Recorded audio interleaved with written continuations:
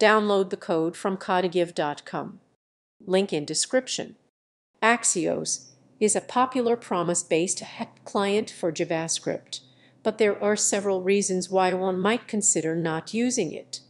Firstly, Axios increases the size of the application bundle due to its additional dependencies, which can impact performance, especially in environments where minimizing load times is crucial. Secondly, the native Fetch API, which is built into modern browsers, provides similar functionality without requiring an external library. Fetch also supports promises, allowing for more straightforward error handling and is more aligned with modern JavaScript practices. Moreover, Axios can be less flexible when it comes to handling requests and responses, particularly with regard to transforming data. Additionally, some developers may find Axios's customization options cumbersome compared to the simplicity of the Fetch API.